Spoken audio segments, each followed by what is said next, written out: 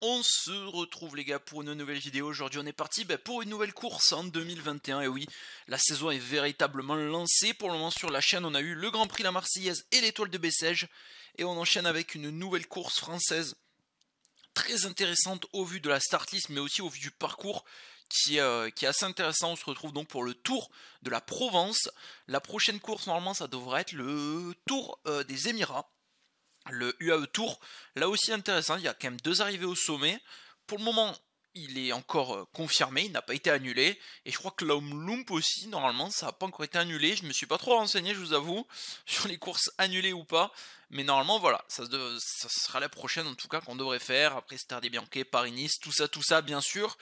Il y a le parcours 2021, les gars, donc euh, il est sur le gros péto. Je crois que c'est Barna qui l'a fait. Donc euh, vous allez dans la section étape showroom et vous avez bien entendu le vous avez euh, ces étapes à lui, ces étapes de Barna et euh, également si vous voulez télécharger bon je l'ai mis en variante du Tour de la Provence, mon tour de Corse que j'ai créé en vidéo et où j'ai rajouté un contre-la-montre, vous voyez vallonné de 19 km donc ensuite il y a les trois étapes que j'ai créées en vidéo.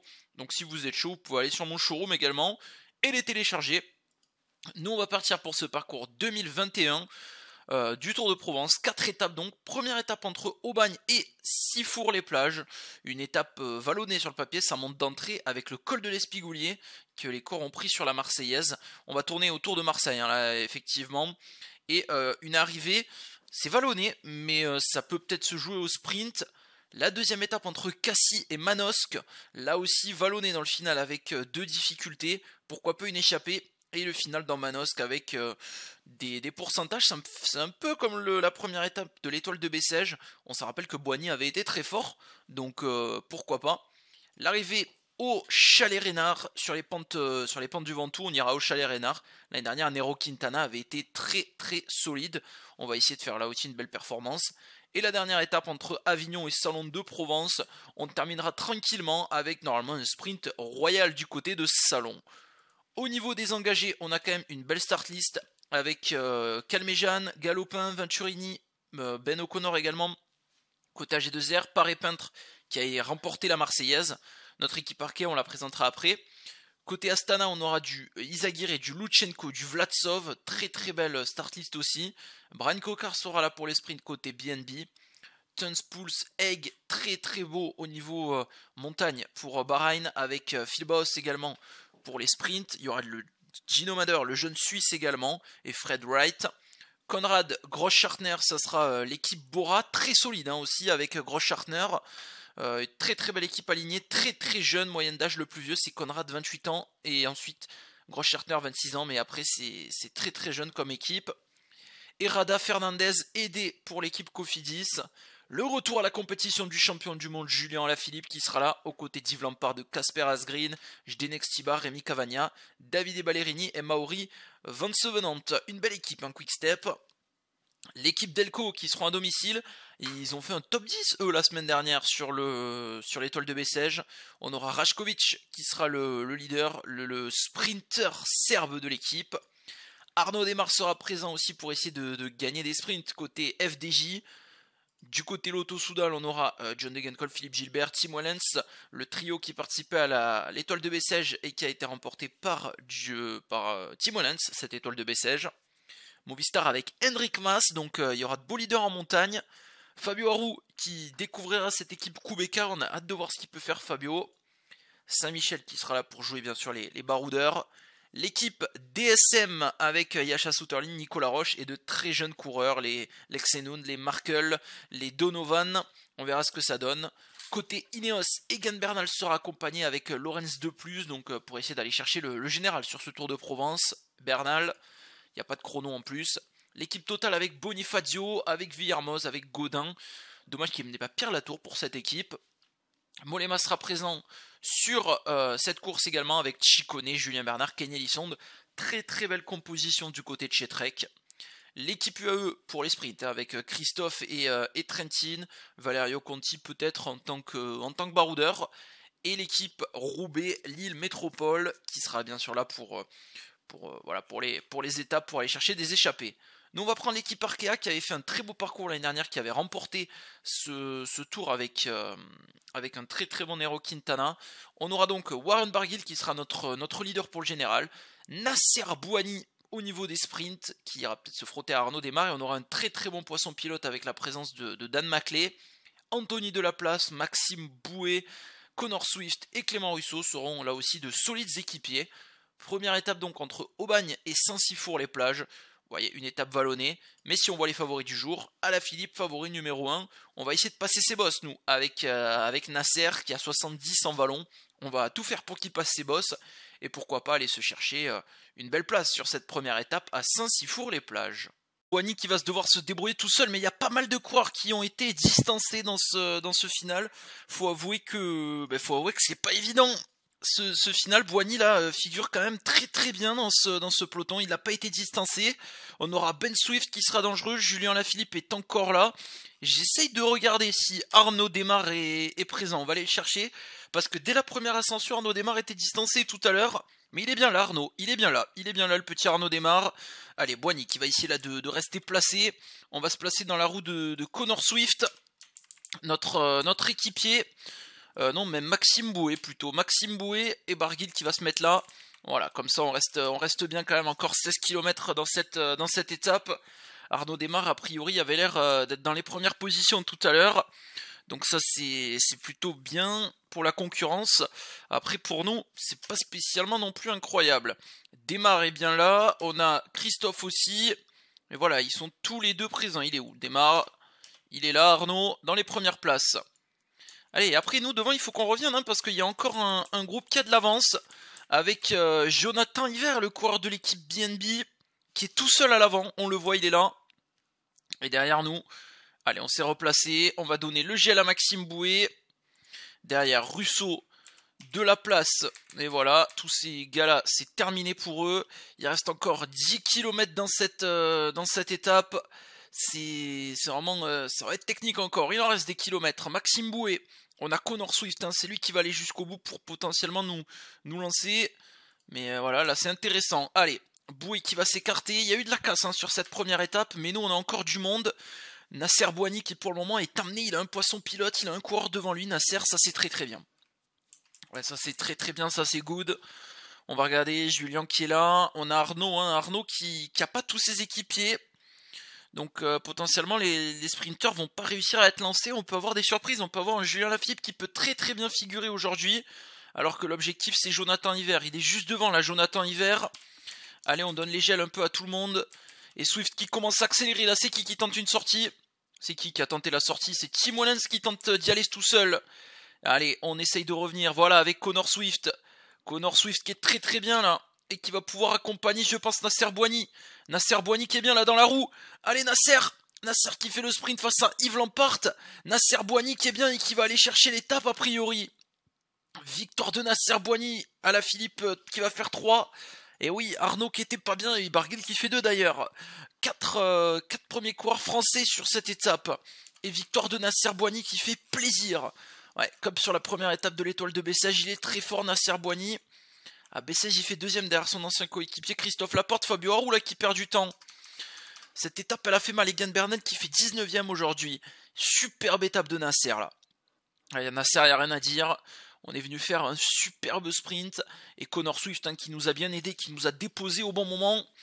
Et euh, voilà, c'est Alaphilippe qui fait 3. Et Barguil qui était encore présent. On va peut-être le revoir sous un autre angle ce sprint. Alaphilippe hein, qui était puissant, il était pas loin de revenir là, Julien. Et on voit Arnaud aussi. Hein. Arnaud qui remonte très très bien pour faire la quatrième place. J'aimerais bien le revoir de face. On va pas voir grand chose malheureusement. Mais à la Philippe qui était très très bien revenu et j'ai eu raison de lancer tôt. Et oui, forcément sans poisson pilote pour, euh, ben, pour Démarre, pour euh, tout ça c'était compliqué. Et euh, Démarre il revenait très très fort. Hein. Quelques mètres de plus, je pense qu'on se faisait, on se faisait battre. On a un peu surpris tout le monde aujourd'hui, mais c'est très bien. Victoire de Nasser Boigny qui va endosser le, maillot de leader, ce maillot euh, si particulier sur le, Tour de Provence. Et c'est Nasser Boigny qui est le leader. Et Delio Fernandez, lui, est troisième avec Emile Vermeulen qui était euh, dans l'échappée. Eux, ces coureurs, et donc ils avaient pris des bonifs. au sprint. Hiver, maillot de la montagne, il est beau. J'aime bien ces maillots, moi, du Tour de Provence, ils sont originaux. Le maillot par points qui sera porté par Warren Barkill, du coup, et Egan Bernal, qui est déjà meilleur jeune avec ce, ce maillot vert. Meilleure équipe Quick Step. Je crois qu'il place euh, deux coureurs dans le top 10 aujourd'hui avec Yves Lampard qui a fait un sprint en puissance. étonnant que ce soit pas Arkea. Euh, après, ils ont mis qui du coup dans le top 10 Ah oui, non, il y avait Ballerini aussi. Trois corps dans le top 10 pour, euh, pour l'équipe de Koenig. Bien joué. Et ben, on est bien parti sur ce, sur ce tour. La prochaine étape entre Cassis et Manosque. Là aussi, ça va être vallonné. On aura peut-être un plus gros groupe et euh, ouais, le final euh, avec Boigny, il faudra être vigilant puisque c'est quand même une arrivée en boss. Donc euh, attention à cette étape et on va essayer de réaliser la meilleure étape possible sur cette deuxième étape du Tour de Provence. Dans le final, bon, il reste encore 37 bornes, hein, les gars, mais Boigny est bien pour le moment. Il est placé, et là, c'est un petit repérage de, l'arrivée de, tout à l'heure, hein, l'arrivée qui sera juste là. Et devant, c'est Boss qui est en train de se, sacrifier. À l'avant, on a Villermoz, Hiver, Vermeulen, Maldonado. Donovan, euh, on a une, une, belle, échappée derrière Dlamini et Godin, ainsi que Canter. Et voilà, derrière le, peloton, avec Nasser, où est-il Nasser? Nasser est bien placé dans cette, euh, dans cette bosse, classé quand même en deuxième catégorie. Il faut rester placé, voilà. Nasser avec Warren Barguil qui est devant et qui est pas en forme aujourd'hui. Moins 4 pour Warren, j'espère qu'il sera pas comme ça sur la prochaine étape. Allez, Maxime, qui est bien là, Maxime Bouet. J'espère qu'il sera bien lui aussi sur la prochaine étape pour nous, pour nous aider. Et là, il nous reste 32 km encore, les gars, dans cette, euh, dans cette étape. Très clairement, Nasser euh, Boigny qui va pouvoir basculer là avec les meilleurs. Ouais, il est, en tête là, Nasser. Il est bien. Il est très très bien dans la prochaine difficulté. Voilà, celui qui est, en difficulté dès que la route s'élève, c'est Dan Maclay qui ne sera pas là. Tim Wallens distancé. John Degenkolb. Ouais, là, il y a, de la casse par contre. Et euh, clairement, Nasser, Nasser, Nasser, il est là. Allez, on a toute l'équipe qui est bien. On va peut-être euh, commencer voilà, à placer tout ça. Connor Swift. Maxime Bouet, je pense qu'il est encore plus rapide que Connor Swift aujourd'hui. Donc euh, voilà, on va, se, replacer dans la roue de, l'ami Connor Swift. Et voilà, là on est très très bien. Barguil qui remonte. Toute l'équipe là est en train de se, replacer. Maclay qui ne, qui ne rentrera pas aujourd'hui. Dan Maclay, notre, notre coéquipier britannique. Et voilà, on s'est replacé. C'est Connor Swift, notre autre équipier britannique, qui va pouvoir bien se placer. Allez, le final avec maintenant l'équipe Bora qui fait le travail.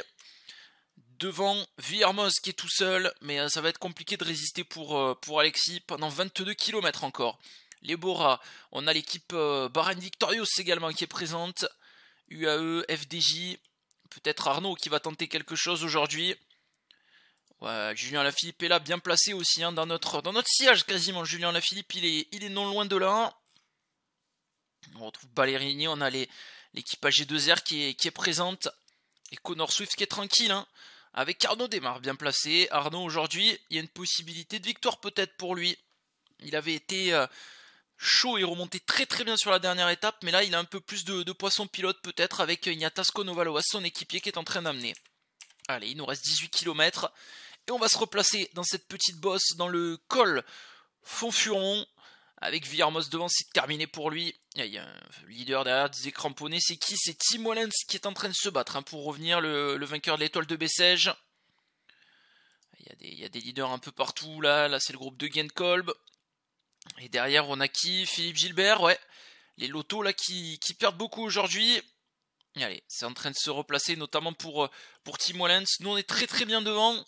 Et voilà, on a mis euh, le rythme nécessaire. Maintenant, il nous reste encore quelques kilomètres à tenir. Derrière, c'est le, fameux groupe, euh, ouais, le groupe Frison, le groupe Degenkolb. Et là, on perd des équipiers. Sinkeldam et Boas également. attention, attention, le groupe qui a un peu explosé. De Schelling qui n'était pas dans les, dans les premières places, je crois. Mais devant, voilà, nous on est bien avec l'attaque de qui? De Dylan Tuns, c'est Arnaud Desmar qui le prend en chasse directement. Le final là, il va être, euh, il va être sympa, je pense, ce, final avec Arnaud Desmar qui en fait beaucoup. C'est lui qui amène, il a plus d'équipiers. C'est peut-être comme ça encore qu'on va un peu, qu'on va un petit peu mettre à l'amende tout le monde. Et voilà, Tuns qui est repris. Est-ce que maintenant, nous, on va pouvoir venir euh, se mettre à rouler, se mettre à la planche? Il reste 8 km encore. Connor Swift qui va prendre son gel. J'ai l'impression que Boigny est encore très très bien amené là. On a, il y a plus beaucoup d'équipiers. Démarre, il a Konovalovas, mais Konovalovas, il est, il en peut plus. Et allez, nous, on peut commencer à, accélérer comme ça, gentiment. Pour le moment, il n'y a pas de boss. Hein. C'est limite un petit faux plat descendant. Ouais, un petit faux plat montant. Le, final, elle n'est pas non plus euh, impressionnante, hein, cette, euh, cette boss finale. Allez, on va donner le gel à tout le monde. Maxime Bouet qui va commencer. Voilà. Maxime Bouet qui va se placer. C'est terminé là pour euh, l'ami Swift. Hop, hop. On va donner le gel. Et voilà, Maxime Bouet. On est très très bien. Il nous reste encore 2 km avec Maxime Bouet qui va commencer à accélérer. Est-ce que Nasser Boigny va pouvoir venir chercher ce succès? On accélère avec euh, Maxime Bouet. Et voilà, Démarre, il est déjà en train de lancer son sprint. Nous, on le lance avec Nasser Boigny. Nasser Boigny, Arnaud Démarre, le duel. Le duel. Et le retour de Trentin. Mais il avait lancé trop tôt. Arnaud Démarre revient s'imposer juste devant Matteo Trentin. Derrière, c'est Arnaud Démarre. Et il y a un petit trou là peut-être, avec Maxime Bouet qui a été incroyable aujourd'hui, et Barguil qui était dans la roue de Nasser. Ouais, cette victoire-là, elle est, elle est magnifique. Et encore une fois, là, ça se joue pas la puissance. Bon, Boigny était très puissant, il avait une petite forme en plus exploitable aujourd'hui. Mais vous voyez, Desmarques qui revient, et Trentin, Trentin très fort, mais Trentin qui a lancé trop tard lui par contre. Mais euh, le problème là, il vient de, il vient de qui n'avait plus d'équipier, il a fait des efforts et regardez, Desmar a déjà lancé son sprint quand Boigny le lance. Boigny, on sent qu'il a moins de puissance, mais il peut résister puisque Desmar là s'écroule, il n'a plus d'énergie. Et euh, Trentin revenait comme une fusée. Hein. 2 mètres de plus et on était battu. Deuxième succès pour, euh, Nasser. Et Barguil qui prend euh, du temps d'avance aujourd'hui avec cette quatrième place. Et là, on va avoir une belle avance sur les autres coureurs au général. On est deuxième à 14 secondes. Et par exemple, sur la Philippe, on a déjà pris 16 secondes en vue de, de l'étape Rennes et l'arrivée, euh, l'arrivée au chalet Reynard. Victor Amanos, en tout cas de Boigny, qui reste leader de ce Tour de Provence. Hiver qui reste leader de la montagne. Boigny, leader du classement par points, c'est logique. Et Egan Bernal en vert, maillot des meilleurs jeunes. Sur les épaules, on devient meilleure équipe avec Arkea. Et ce superbe final, j'aurais peut-être dû écarter euh, Maxime Bouet. Maxime Bouet, j'aurais peut-être dû l'écarter, le faire ralentir pour peut-être gagner 2 ou 3 secondes de plus si ça se joue à quelques secondes le Tour de Provence, on pourrait être dégoûté. En tout cas, au général, on est bien. Et la prochaine étape, c'est arrivé au chalet Reynard. On n'a pas d'énorme équipier en montagne. On va être obligé de tenir le rythme avec Warren en espérant une, bonne forme et peut-être une moins bonne de, nos adversaires. On est deuxième du général. Boigny va perdre son maillot. J'espère qu'avec Barguil, on va pouvoir tenir et peut-être euh, pas forcément chercher la victoire, mais au moins chercher le podium, ça serait, ça serait cool, le podium final sur ce Tour de Provence. A de suite donc pour cette troisième et avant déjà dernière étape. On est aux abords là de cette, de cette ascension et c'est nos amis d'Ineos qui sont en train d'amener. Il est là-bas dans la brume, on l'aperçoit pas cet observatoire. On pourrait l'apercevoir, il est là-haut normalement si je, si je ne me trompe. L'observatoire du, du Mont Ventoux, non même pas. Il est peut-être si, si, il est là-bas, oui, c'est bien ce que je disais, il est là-bas, on l'aperçoit au loin, cet observatoire, et le, peloton qui a perdu des, des unités. Maclé, c'est une habitude de le voir en difficulté. Là, clairement, on n'a pas d'équipier solide en montagne. Avec Warren Barguil, ça va être, ça va être un défi. On va devoir s'accrocher. On a un petit plus de montagne. Là, il faut, prendre les roues, tout simplement, dans cette, euh, dans cette ascension du, dans cette ascension, voilà, du, du Ventoux, Dunbar à la Philippe, qui va pas non plus avoir d'équipier, peut-être Casper Asgreen qui va essayer de, rester le plus longtemps possible avec lui, mais ça va pas être évident. Et euh, là, on, va afficher les top 10 du général. Il est dans le top 10, euh, Boué Ouais, Boué qui est dans le top 10. Il y a pas encore là, même avec les, notes positives, hein, qui, est, qui est très bien en montagne. Malheureusement, on va essayer de, voilà, de rester placé. Warren, il est là. Il va rester dans les, premières places. Nicolas Roche. Et Ala Philippe qui est peut-être le, favori de ce, de ce Tour de Provence là maintenant, sauf si Egan Bernal arrive à faire un énorme écart. Il y a Henrik Mas également, 34 secondes de retard au général pour Henrik Mas. Euh, et Bernal, où est-il Egan Bernal? Egan Bernal, il a 34 secondes aussi, ouais, donc on a 20 secondes quand même d'avance sur ces hommes-là. C'est plutôt pas mal. Maintenant, eh, on, va, aller le faire avec euh, Warren Barguil, non le sprint. Il y a des bonifs, je crois, à mettre là au sprint. Et malheureusement, ouais, non, c'est bon. C'est bon, ça le fait avec Warren là. Et euh, est-ce que du coup il y avait des bonifs ou est-ce que j'ai fait ça pour rien? Normalement, il y a des bonifs. Et on prend deux secondes de bonif avec Warren Barguil. Ça, c'est très très bien ça. Ça, c'est très bien de mettre des bonifications avec Warren. Warren qui va être euh, dans les roues de, de, de qui? De Henrik Mas peut-être. Henrik Mas pour le moment qui va monter à son rythme avec également euh, bah, l'équipe euh, l'équipe de Vlatsov. Vlatsov aussi à 34 secondes. On est vraiment le leader le, plus le mieux placé au général. Egan Bernal qui s'est replacé là aussi. Allez, il faut rester placé là Warren. Attention à pas être gêné. Ouais, ça s'écarte bien là. Et on essaye de, de tenir là notre petit rythme c'est très très fort devant le rythme imposé. Et là, on se fait, on se fait un peu tasser de partout. Là, il faut vraiment trouver l'ouverture. Julien Lafilippe est là. Et devant, regardez le tempo imposé par Dunbar.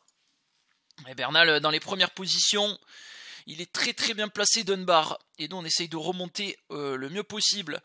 Julien Lafilippe est là. Il reste encore 10 km avant le sommet de ce, chalet Reynard, puisque ça sera le, milieu à peu près du Mont Ventoux. Omar Fraile, mais regardez les équipiers Ineos encore en, piste. Allez, Connor Swift là qui nous, qui nous replace. On essaye de rester le, mieux possible dans les roues. Bokeh Molema qui n'est pas là, c'est Giulio Ciccone si Molema est là, dans la roue de son équipier. Allez, on reste bien placé là pour le moment, avec Warren dans les, bonnes roues. Est-ce que ça va marcher là de rester en garder position dans la roue d'Egan Bernal? J'ai pas l'impression que ça soit si efficace que ça. Hop, on va donner le gel à nos équipiers sauf à Warren. Et Bernal a l'air très fort, mais il a encore vraiment une armada devant lui. Pour le moment, nous, on est en... là pour suivre. Hein.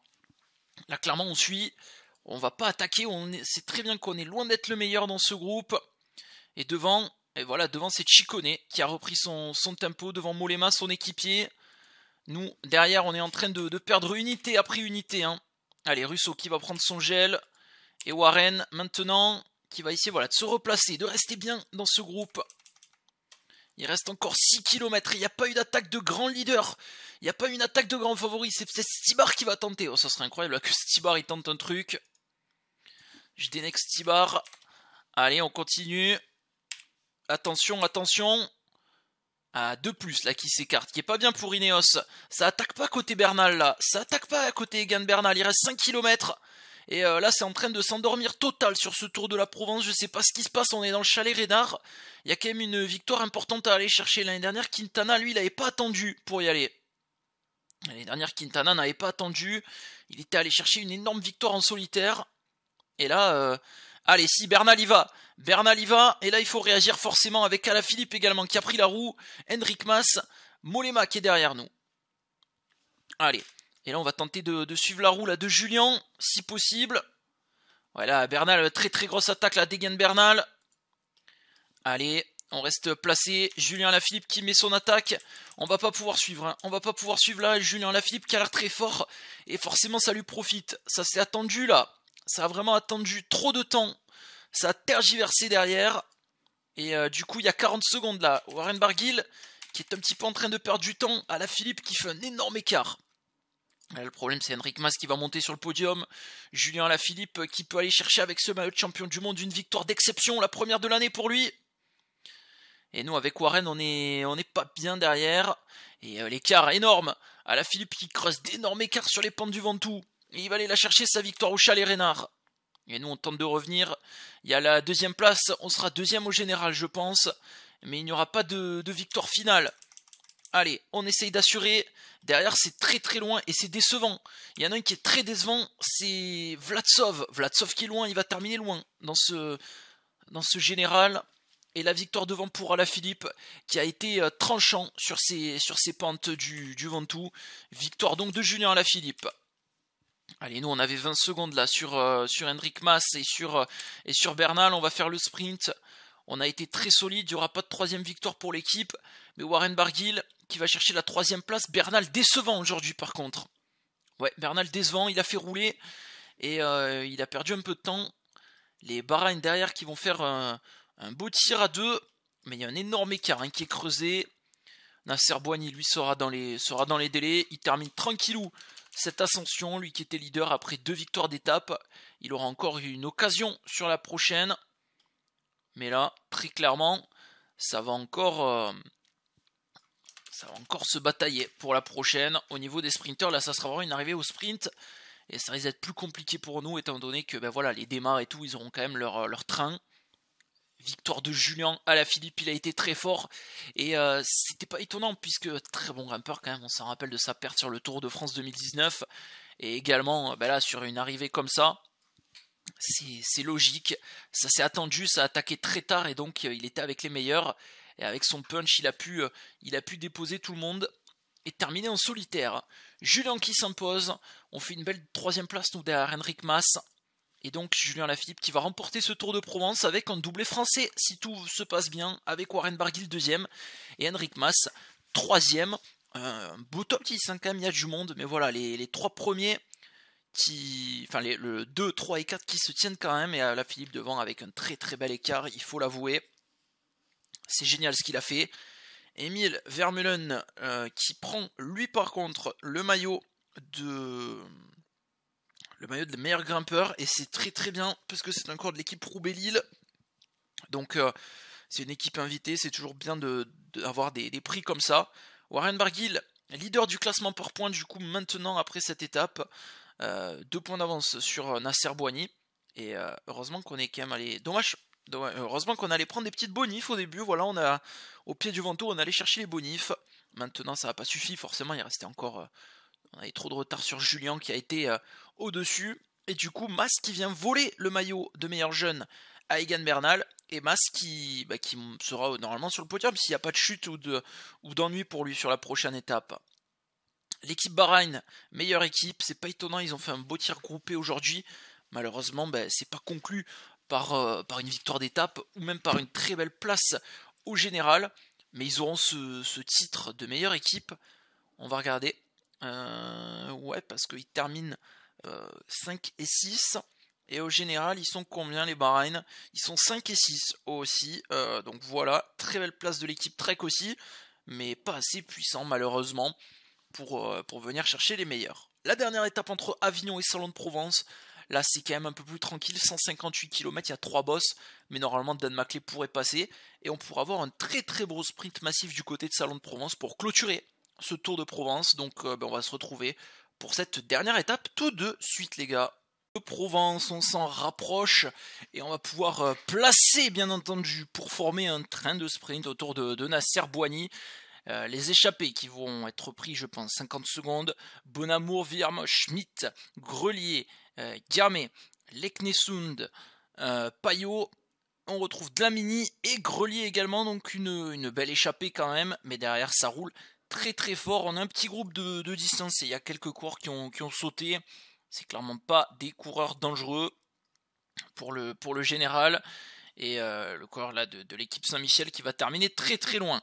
À l'avance, ça essaye de s'attaquer avec euh, Johan Payot notamment. Attention là, attention, on est mal placé là dans cette, euh, cette partie là du, du peloton. Et à l'avance, ça peut faire quelques dégâts. Alors, Clément Russo, lui, qui va être là, avec Connor Swift, Maclé, Boigny et Barguil qui va rester là. On va mettre Maxime Bouet aussi à rouler. Voilà. Voilà, voilà. Là, ça, commence à se placer. Euh, de la place qui nous a remonté nos bidons, ça c'est très bien. Mais nous, on est là pour, euh, aller chercher potentiellement un, sprint. Allez. Il faut, s'écarter, il faut essayer de passer et de venir euh, disputer tout ça. Avec Maxime Bouet, qui s'est placé en tête de groupe. Maxime Boué qui se replace. Tim Wallens là qui fait l'effort. Il y a encore beaucoup d'équipiers pour Arnaud Desmar et devant, ça s'attaque entre les hommes de tête. Et ils veulent pas, euh, ouais, ils veulent aller se la disputer ensemble cette victoire.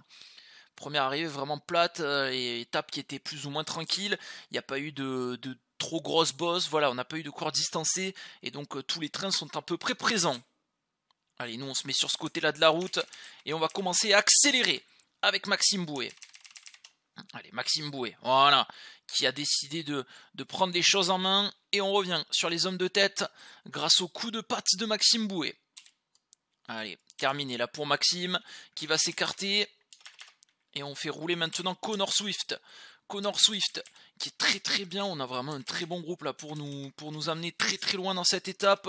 Allez, on va donner les gels. Swift qui, qui continue, il insiste, la Connor Swift. Allez, terminé pour euh, Connor Swift. C'est Clément Russo là qui fait l'effort. Clément Russo qui a l'air fort. avec Clément Russo qui est bien, avec euh, Dan Maclay là dans un petit moment qui va venir se, se mettre pour lancer tout ça, avec Nasser Boigny qui est bien placé dans la roue de Maclay. Oh, il a un peu sauté là. Nasser Boigny, faut remonter. Nasser Boigny, oh il était gêné, Nasser Boigny de partout. Et c'est John Degenkolb qui va aller chercher cette victoire devant Jacopo Guarnieri, euh, Trentina Rambourou. Et regardez, regardez Boigny qui était totalement gêné. Et c'est limite les poissons pilotes puisque Arnaud démarre. Il en termine que huitième. Ouais, ce, virage-là, ce virage dans le dernier kilomètre a fait très très mal. On est quasiment arrivé en angle droit là, donc euh, forcément. Et Nasser Boigny qui a un peu été gêné. Et du coup, je sais même pas s'il va conserver son maillot de son maillot de la son maillot par point. Parce que bon, c'était Warren Barguil, mais je pense que là, il aurait dû le prendre. On va voir ça. John Degenkolb qui remporte cette étape au sprint. Julien Lafitte, bien sûr, qui remporte ce, tour de, la Provence devant Warren Barguil et Henrik Mas. Le maillot de la montagne pour Emile Vermeulen, ça, il n'y avait pas de changement aujourd'hui, avec Hiver qui est, a deux points derrière.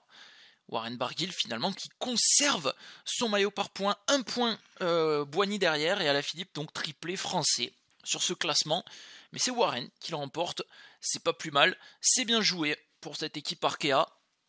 Et Henrik Mas qui reste bien sûr meilleur jeune devant Egan Bernal et Alexander Vlatsov. Bahreïn, meilleure équipe, c'est mérité aussi, ils ont, fait, euh, un très bon truc comme j'ai dit précédemment. Malheureusement, ils ont, manqué d'être un peu mieux placés. Superbe en tout cas, deux victoires avec Boigny, une très belle place avec Barguil sur, le, sur les ponts du Ventoux, et là ce final qui était un petit peu, un petit peu bizarre, et vous voyez, hein, il s'est passé... Euh, il s'est passé ce qui s'est passé avec une belle deuxième place quand même de Jacopo Guarnieri, Merdo Demar qui a raté ce sprint comme Nasser Boigny. Donc, euh, bah donc voilà, tout simplement, on s'en sort quand même avec un podium et une belle deuxième place au général. C'était pas évident à aller chercher. J'espère que vous les gars en tout cas ça vous a plu ce petit tour de Provence. Ça change un peu des courses qu'on voit habituellement. Je vous dis donc à la prochaine. Laissez le maximum de pouces bleus. Portez-vous bien. Ciao tout le monde. Bye bye.